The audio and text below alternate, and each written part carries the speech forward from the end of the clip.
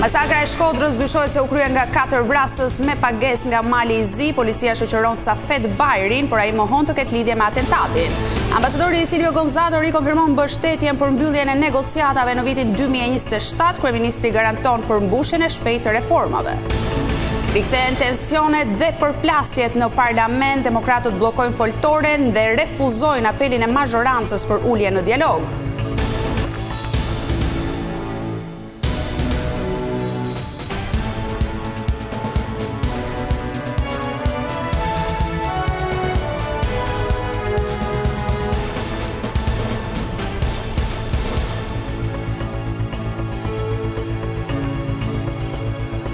Përshëndetje të nderuar teleshikues, ky është edicioni informativ i lajmeve këtu në televizionin kombëtar Vizion Plus.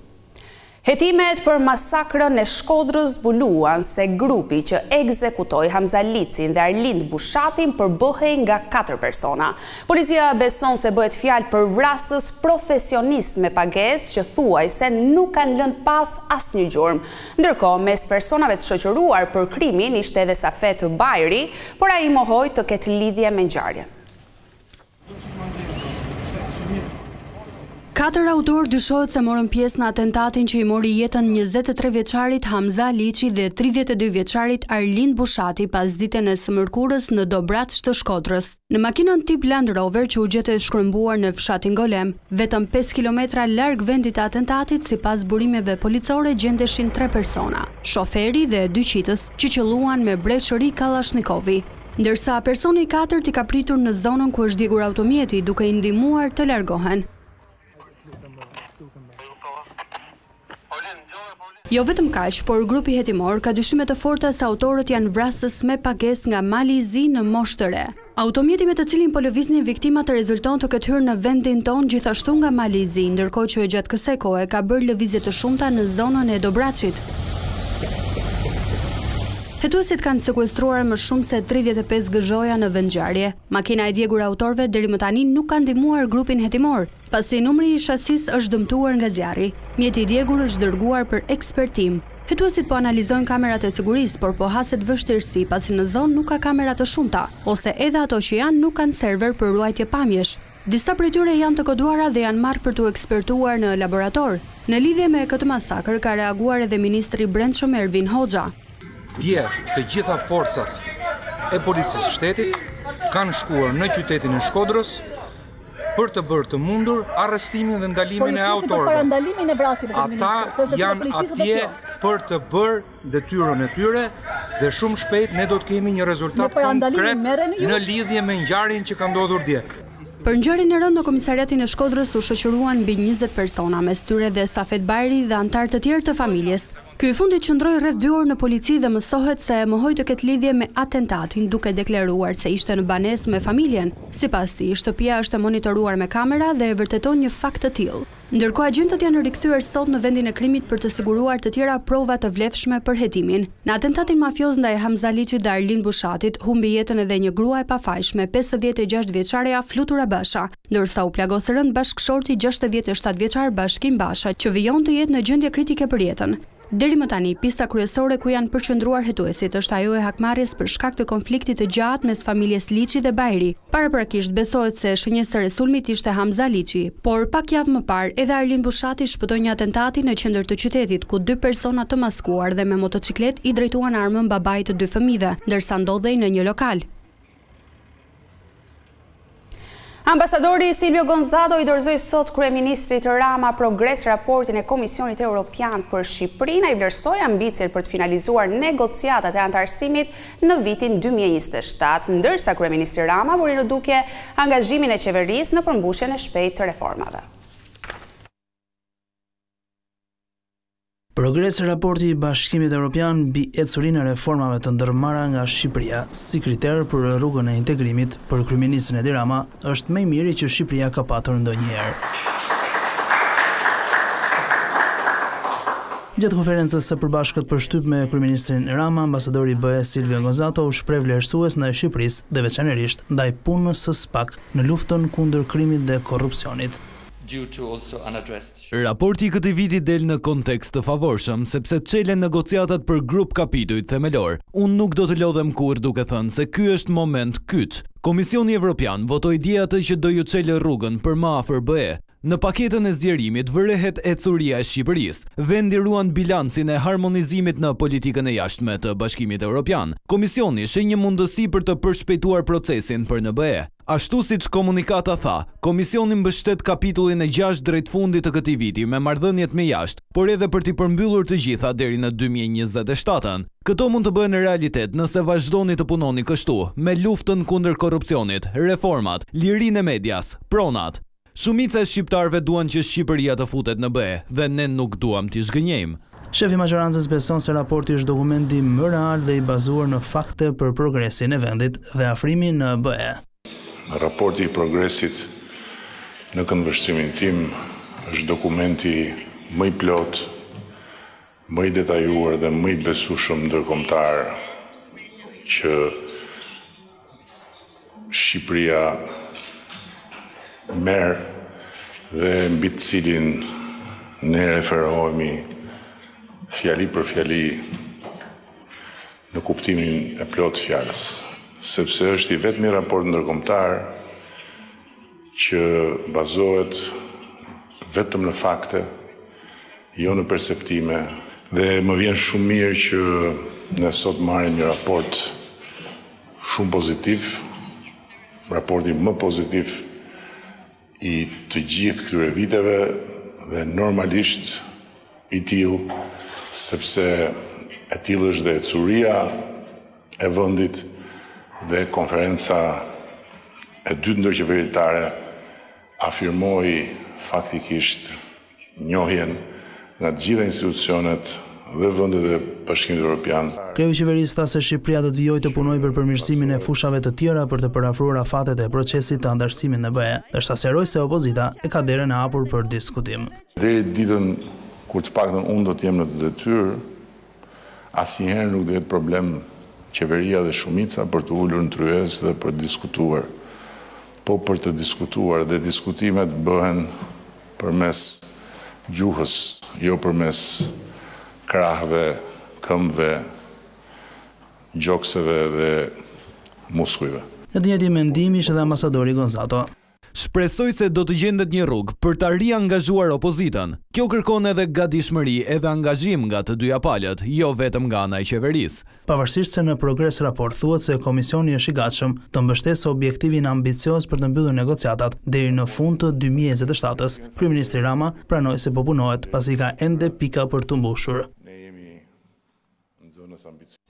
Edhe sot demokratët e bënë të pamundur zhvillimin e një seance normale në Parlament. Ata protestuan brenda dhe jashtë sallës, duke refuzuar edhe thirrjen për dialog të kryetares së Kuvendit.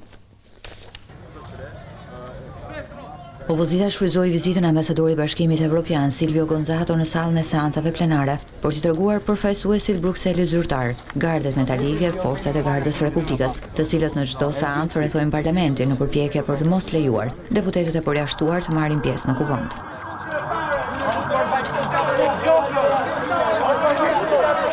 Gonzato ishte në kuvend për t'i dorëzuar kryeparlamentares Spiropali Progres raportin, por mesazhi i tij për opozitën ishte i njëjtë. Shpresoj që situata të përmirësohet dhe opozita mund dhe do të luajë rolin e saj brenda Kuvendit. Ndërkaq opozita edhe sot e bëri të qartë se aksioni i mosbindjes civile do të vazhdojë. Deputetët demokratë që nuk janë të përjashtuar bllokuan foltoren e Kuvendit, e nxorën jashtë karriget e tyre e në shenjë proteste kundër mazhorancës u ulën në oborrin e parlamentit. Demokratët theksuan se nuk do të bëjnë asnjë marrëveshje me mazhorancën për kthimin e normalitetit në Kuvend, duke refuzuar ftesën e kryetares së Kuvendit, Spiropali për dialog.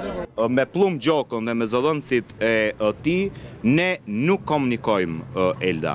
Ne jemi përballë krimit të organizuar, zonja ka vendos të bashkëveprojë Me krimin e organizuar jemi dy botë të ndryshme. Por sot Gazment Bardhi sulmoi edhe SPAK-un, i cili mori në pyetje deputeten Elda Hoti, që dy javë më parë hodhi një spray me aromë të keqe në seancë plenare. Ne nuk e dinim, i kishim dhënë besim e i paguanim prokurorët për të nuhatur. Ne e dimë që i kemi mandatuar dhe i paguajmë për të luftuar korrupsionin dhe për të luftuar krimin e organizuar. Nëse do të ishin në krye të detyrës, dje e kam thënë për policinë, sot po e them për SPAK-un.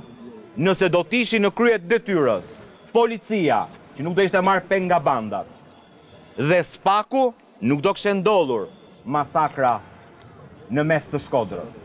Aksioni i opozitës për bllokimin e parlamentit nisi në fundin e muajit shtator, pas dënimit me burg të ish-deputetit demokrat Ervin Salianji, e sipas PD-së nuk do të ndalet deri në largimin e kryeministrit Edi Rama dhe krijimin e një qeverie teknike e cila do të udhëheqë vendin drejt zgjedhjeve të parakohshme.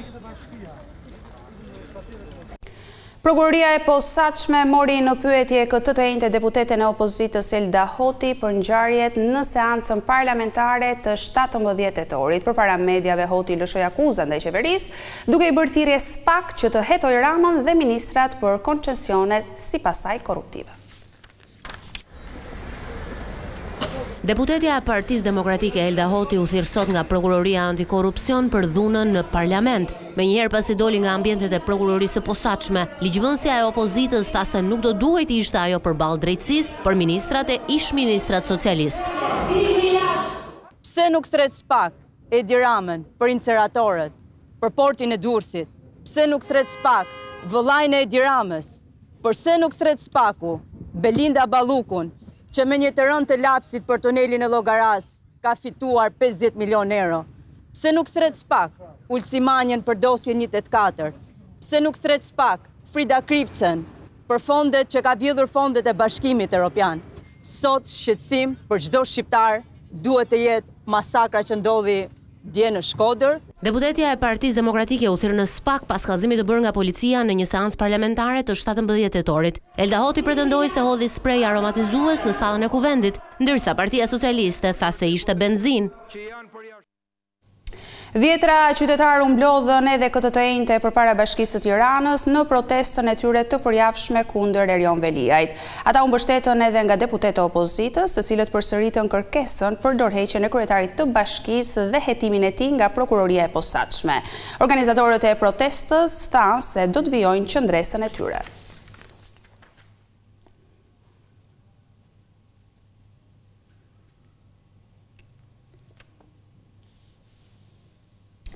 Masakra e Shkodrës për liderin e opozitës Sali Berisha ishte e paralajmëruar dhe policia nuk bëri asgjë për ta parandaluar. Kreu i Partisë Demokratike drejtoi gishtin e akuzës nga Edi Rama. Berisha tha se kryeministri do të kandidojë në Shkodër në zgjedhjet e ardhshme pasi sipas tij ka garancinë e bandës së Bajrave. Partia Demokratike do të protestojë mesditën e së shtunës në qytetin e Shkodrës në shenjë revolte pas ngjarjes së rëndë ku mbetën të vrarë tre qytetarë. Kryetari i PD-së Sali Berisha gjatë një konference me gazetarët ftoi qytetarët e Shkodrës t'i bashkohen marshimit të opozitës kundër krimit. Ftoj të gjithë opozitart, kudo që janë, të shtunën në ora dymbëdhjetë në Shkodër solidaritet me qyetarët e këtij vendi, si dëshmi Që s'do pranojmë kurrë që krimi të mposhtë Shkodrën dhe shkodranët. Sipas Berishës, masakra në Shkodër ishte e paralajmëruar, pasi policia nuk kishte vepruar në disa raste.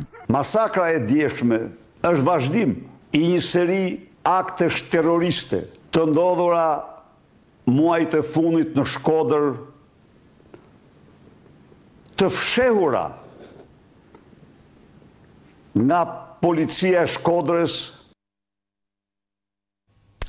Deputeti socialist Xhemal Qefalia u thirr sot nga Prokuroria e Posaçme për dosjen e njëzet e një janarit ku u pyet për afro tridhjetë minuta. Shpresoj që të zbardhet njëzet e një janari se ka katër viktima, u pyeta si protestues, u shpreh Qefalia për gazetarët. Më herët për këtë dosje kanë dëshmuar edhe ish-drejtori i Policisë së Shtetit, Hysni Burgaj dhe ish-zëvendësi i tij, Agron Kuliçaj. Ishte vendimi i Strasburgut që e konsideroi ngjarjen krim shtetëror dhe detyroi rihapjen e hetimeve për vrasjen e katër protestuesve në bulevard në njëzet e një janarin e vitit dy mijë e njëmbëdhjetë.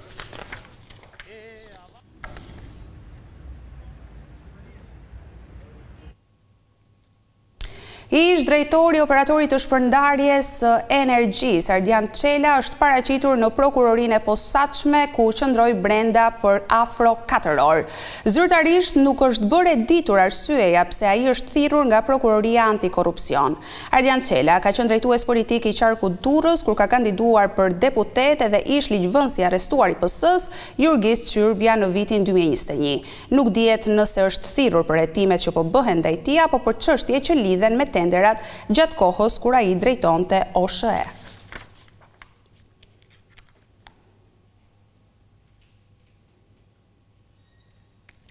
Drejtuesit e dy forcave të reja politike, Agron Shehaj dhe Enkelejd Alibeaj kërkuan sqarime në Parlament për fatin e mbetjeve të sekuestruara në portin e Durrësit. Ministri i Brendshëm, Ervin Hoxha bëri të ditur se kontejnerët do të vendosen në një hapësirë që do të jetë nën monitorimin e vazhdueshëm të policisë. Seancës që është në fuqi. Përballë mazhorancës brenda sallës së seancave plenare qëndruan vetëm dy partitë më të reja të opozitës, Partia Djathtas e Enkelejd Alibeajt e Partia Mundësie e Agron Shehajt. Përfaqësuesit e këtyre forcave politike ngritën shqetësimin për mbetjet që ndodhen në anijen Moliva në portin e Durrësit, duke i bërë apel qeverisë të zbatojë vendimin e prokurorisë për sekuestrimin e tyre. Pse nuk e sekuestroni ngarkesën? Pse nuk bëhet testimi? Pse nuk e bëni? Për një arsye shumë të thjeshtë, sepse jeni të gjithë të përfshirë. Por përballë akuzave të opozitës ministri i Brendshëm Ervin Hoxha sqaroi se qeveria dhe institucionet përpiqen të gjejnë vendin dhe infrastrukturën e përshtatshme për t'i vendosur këto mbetje. Siç dhe ju e dini, janë mbi njëqind e dy kontenierë, të cilët kërkojnë infrastrukturë të përshtatshme dhe nuk janë disa kuti kartoni që ne mund t'i fshehim dhe mund t'i fusim kudo ku ju mendoni. Pra, këto kontenierë do të vendosen në një hapësirë e cila do të monitorohet me punonjës policie. Urdhri i Prokurorisë është totalisht njëqind për qind i ekzekutueshëm. Qeveria përsëriti se po bashkëpunon me Prokurorinë për të zbardhur të gjithë të vërtetën rreth këtyre mbetjeve. Ja u pa te inceneratorët se si firmoseshin njëmbëdhjetë vendime a pesëmbëdhjetë a sa ishin, brenda ditës, menjëherë. Kurse kur bëhet fjalë për të lejuar Prokurorinë që të zbardhë këtë aferë ndërkombëtare, trafikim mbetjesh toksike nëpër botë, keni nevojë për kohë. Zbatoni urdhrin e Prokurorisë. Pikë. Lërini broçkullat. Flitet për një kategori që quhet cilësohet mbetje të rrezikshme, por janë mbetje të cilat dalin nga metalet dhe në rastin konkret në asnjë nga dokumentacionet nuk është folur për mbetje po për mall. Kjo është arsyeja pse ne respektojmë ligjin, respektojmë hetimin e prokurorisë, të cilat do ndjeki të gjitha hapat dhe kur të hapen kontenierët dhe kur të marri masat e tjera, do mësohet saktësisht se çfarë ka brenda. Ju flisni sikur jeni brenda kutive, ne themi do të presim që të mbarojë gjithë procesi i analizës, i investigimit, derisa të dalim në konkluzione. Pak ditë më parë Prokuroria e Durrësit sekuestroi njëqind e dy kontenierë me afro dy mijë e njëqind tonë mbetje në anijen turke Moliva, të cilat dyshohet se janë pluhur nga oxhaqet e fabrikave metalurgjike. Kontenierët u nisën nga Durrësi në datën katër korrik drejt Tajlandës, e cila refuzoi këtë ngarkesë pas alarmit që dha organizata joqeveritare Rrjeti i Aksionit Bazelit. Biznesi grek synon të rrisë praninë e tij në Shqipëri përmes investimeve direkte. Në një takim të zhvilluar në Tiranë, zëvendës ministri i Jashtëm grek vuri në dukje se fushat me interes janë energjia, ndërtimi dhe sektori minerar. Momenti që po kalon sot Shqipëria dhe rruga që po përshkon drejt Bashkimit Evropian, po ngjall interes të sipërmarrësve grekë për të investuar në vendin tonë. Shqipëria, sipas zëvendësministrit të Jashtëm grek, ka ende sektorë të ekonomisë të pashfrytëzuar, që ofrojnë mundësinë për të zhvilluar më tej partneritetin mes dy vendeve. i energi parusia Elinon epi. Ne kemi vënë re një përmirësim të marrëdhënieve tregëtare, por duhet të forcojmë më tej marrëdhëniet tona. Duhet të bashkëpunojmë më shumë në sektorin energjetik, në ndërtim, minerale. Në sektorin e energjisë në këtë mjedis të pasigurt gjeopolitik kërkohet forcimi i bashkëpunimit për të pasur siguri. Duhet të kalojmë në një sistem energjetik të qëndrueshëm. Ne kemi shumë burime për gaz natyror, për energjinë e gjelbër dhe mund të bashkëpunojmë që edhe vendi juaj të kalojë në energji të gjelbër. Për Shqipërinë, Greqia shërben si shembull që duhet ndjekur për të përmbushur objektivin e saj të anëtarësimit në BE.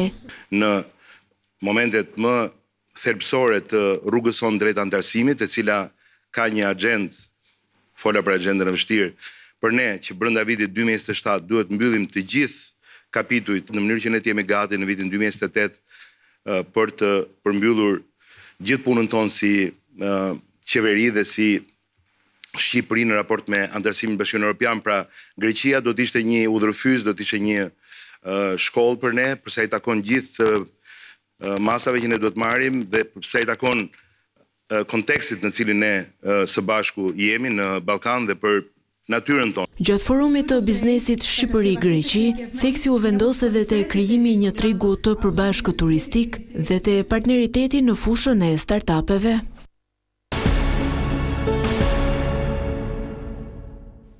Aktorë, regjizorë dhe kritikë arti nga vende të ndryshme janë mbledhur në Tiranë në Festivalin e Teatrove. Shfaqja më e mirë që do të përzgjidhet pas pesë netëve do të rrugëtojë në skenat ndërkombëtare të disa shteteve. Mbi njëqind pjesëmarrës ndërkombëtarë ndër të cilët përzgjedhës festivalesh, kritikë teatrosh, regjizorë, dramaturgë si dhe aktorë kanë mbërritur në Tiranë ku për pesë netë me radhë do të njihen me dhjetë shfaqje teatri nga Shqipëria, Kosova, Greqia e Serbia të shoqëruara me workshope, diskutime e kritika mbi to. Është një motivim shumë i fortë për ndërkombëtarizimin e teatrit shqiptar. Ka qenë një synim dhe mbetet një synim i rëndësishëm i joni që të dalim nga vetëm nga suazat e kufijve tanë.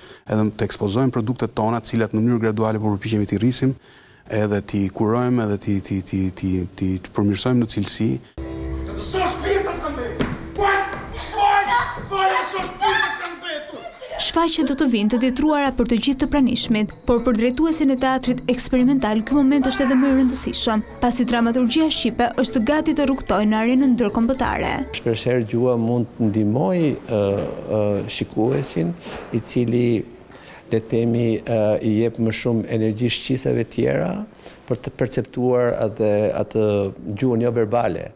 Pra në këtë kuptim unë nuk shikoj asnjë lloj barriere komunikimi, përkundazi e shikoj si një vlerë të shtuar që një spektator i Super kualifikuar i huaj dëgjon një teatër në gjuhën shqip. Është koha ta pastrojmë vendin nga tradhëtarët! Shfaqja më e mirë do të bëhet pjesë e festivaleve ndërkombëtare në skena të ndryshme të botës. Showcase-i në këtë rast është një jo vetëm thjesht dhe vetëm një prezantim, por mbi të gjitha është një komunikim me me specialistët e huaj për të parë tek e fundi se ku jemi në raport me me zhvillimin e teatrit europian. Unë do isha shumë i lumtur sikur të paktën një nga këto produksione të jetë në vitin e ardhshëm pjesë e programimeve të teatrove apo të festivaleve europiane. Lule Sajëza çeli siparin e mbrëmjeve teatrore për të vijuar me Faustin, koncertin, të ngjashëm kundër Turqisë, të bardhët e të tjerë. Shfaqje këto që do të vihen në skenë deri më datë dy nëntor. Dhe gjithçka e përgatitur edhe për këtë edicion informativ, ju falenderoj për vëmendjen tuaj, bashkë ndajemi këtu.